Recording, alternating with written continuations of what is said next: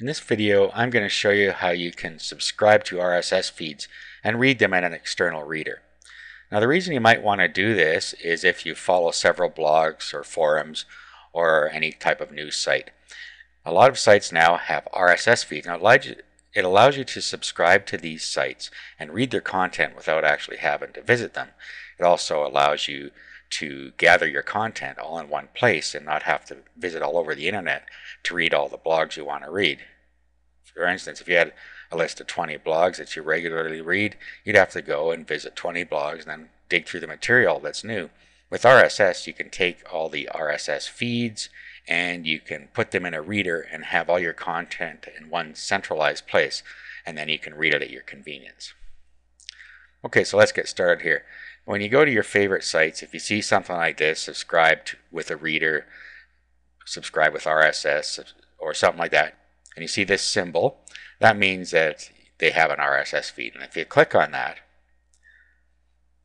many times you'll see something like this, and it'll have a bunch of readers that you can use up here.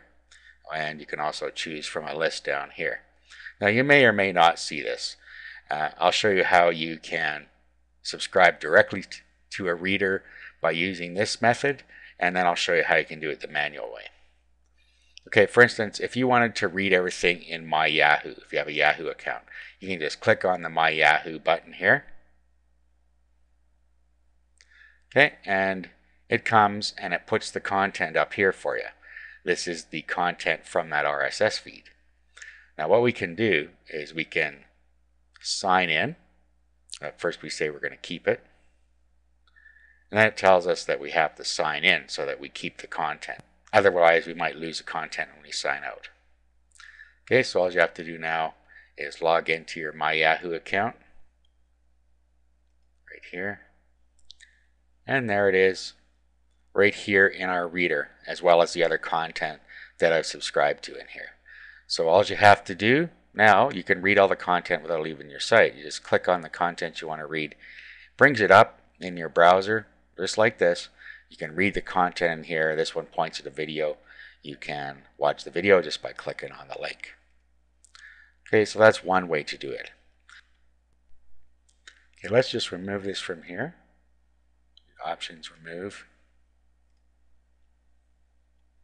Now I'll show you how you can add it manually into your feed reader if they don't have the option to subscribe directly with a reader like we saw there. If they didn't have those options inside the feed, all you have to do is right click on the link here, copy link location, and that'll copy the link of the RSS feed. Then you can go back into whatever reader you choose and you can add content. Now I'm just showing you Yahoo Reader. They all work basically the same. They look a little different, but there's a place where you can add an RSS feed. Okay, so we'll paste our RSS feed in there and we'll add. Okay, click I'm done because that's all we're going to put in here. And as you see, our RSS reader is now updated. Okay, so we can click on what's in there and again, it brings us up the content just like before. And we can zip through it on the side here as well. So that's how simple it is to subscribe to RSS feeds and to read them in an RSS reader.